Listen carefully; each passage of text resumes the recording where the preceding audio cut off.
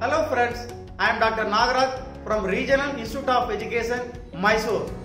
Today we shall learn the technique of identification of ABO blood group and RH factor in man. First, we shall recall what is ABO blood groups. It is the classification of human blood based on the presence or absence of antigens A and B on the surface of RBC and naturally occurring antibodies anti A and anti B in serum. It divides blood into four groups with A, B, AB and O. What are blood group antigens and antibodies? Blood group antigens are self antigens of RBCs and made of either sugars or proteins and present on the red cell membrane. ABO blood group antigens are sugars. They are produced by a series of reactions in which enzymes catalyze the transfer of sugar. DNA determines the type of enzyme and therefore the type of sugar antigens that end up on blood group. Blood group antibodies are proteins and found in the serum which can specifically identify antigens located on the surface of the red cells of another blood group. Now we shall see which antigen and antibody is present in ABO blood group. Blood group A contain antigen A and antibody B. Blood group B contain antigen B and antibody A. AB group has both A and B antigens and no antibody. O group contain no antigen and have both A and B antibodies. Since they are self antigens, antibodies ignore them. In normal human blood, a reciprocal relationship exists between antigen and antibodies. What is RH factor? It is another antigen D found on red blood cells and is made of proteins.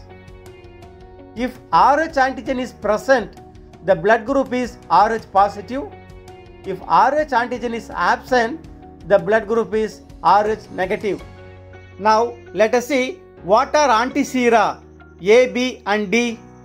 Antisera contains antibodies which identifies the antigens on RBCs.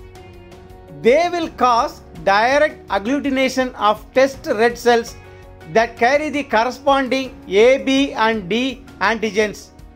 Monoclonal antisera can be prepared from cultured cell lines. Next, what is the principle of blood grouping? The ABO and RH blood grouping system is based on agglutination reaction. When red blood cells carrying one or both the antigens are exposed to the corresponding antibodies, they interact with each other to form visible agglutination or clumping. For example, you can see in the picture that agglutination formed only with antisera that is antibody A. So it is A negative blood group. In the next group, both anti-A and anti-D reacted. So it is A positive. Similarly, B blood group. In case of AB positive group, agglutination occurred with all the antisera showing the presence of all the antigens. Whereas in O negative, no agglutination showing no antigen. You can use this picture as a key to identify blood group. Next, the ABO grouping can be done in two ways. One, forward grouping or cell grouping. In this, the red blood cells are tested for A and B antigens using known anti-A and anti-B sera. Second, reverse grouping that is serum grouping. In this, serum is tested for anti-A and anti-B antibodies using known A and B red cells. Now we shall see what are the materials required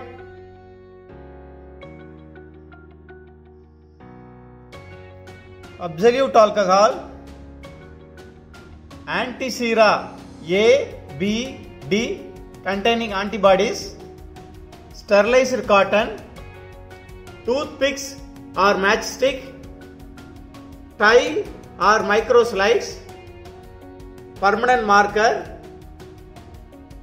and sterilized needle. Now let us see how to do this experiment.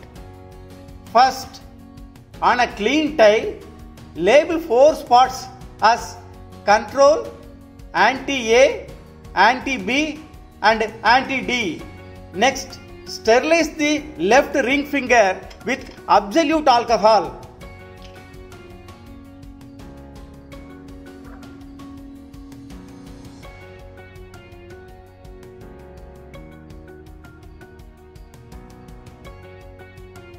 Prick it with sterile needle and pass out the blood.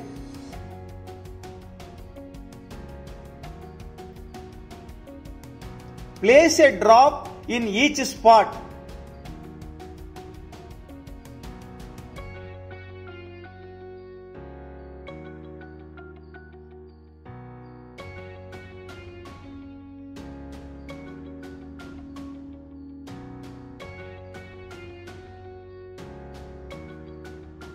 Without touching the blood, add a drop of respective antisera to the respective blood spot.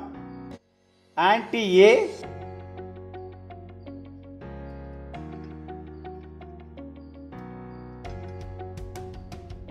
anti-B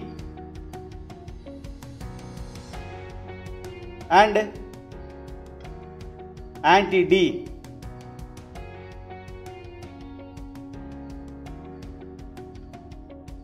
Using a separate, clean matchstick or toothpick, mix the blood and antisera well for 2 minutes.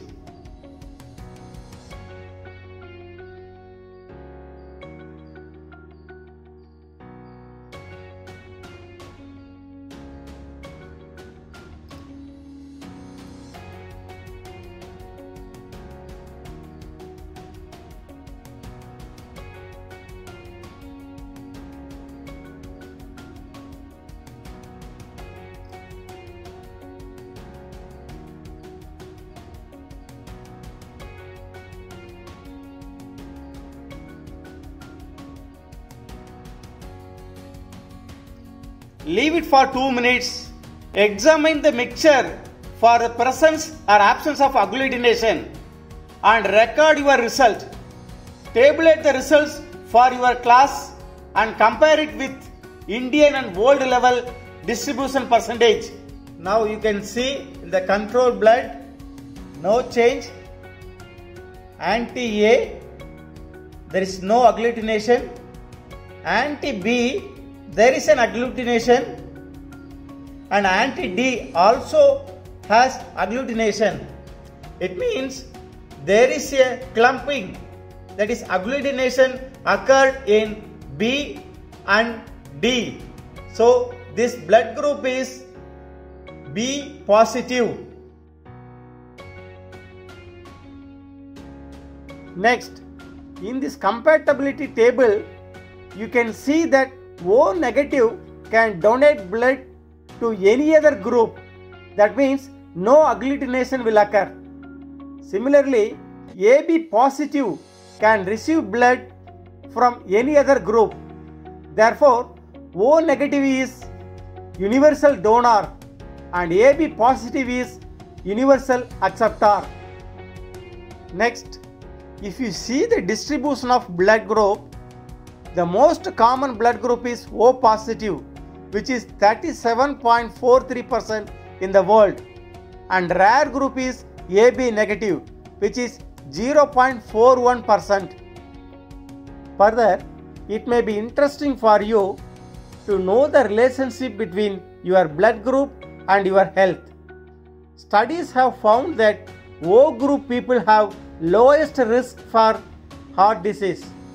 AB and B groups are at the greatest risk, which could be a result of higher rate of inflammation.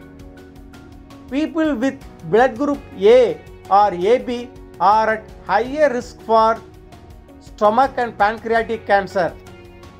Those with A tend to have higher level of cortisol, the stress hormone, and face more trouble in handling stress.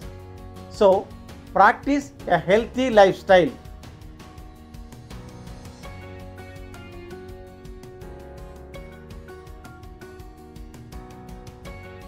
Evaluate yourself.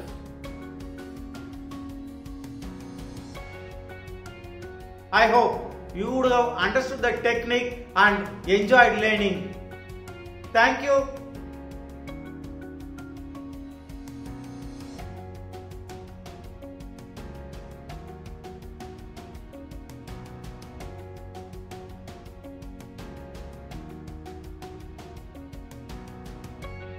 If you like, please share and subscribe.